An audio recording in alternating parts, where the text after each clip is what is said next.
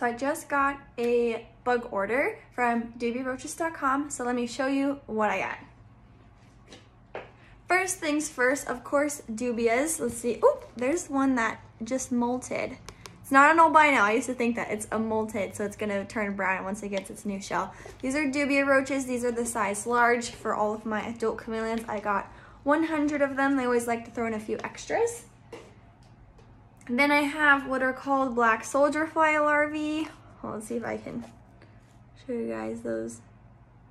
Can you see them? Little wiggly worms in there. So these will actually pupate into flies. Great feeder, high in calcium. And last but not least, we have some hornworms, which are a good treat bug. They do grow quickly, so just be careful if you have a baby chameleon. And check out my discount link to get 15% off your first order at dubiaroaches.com.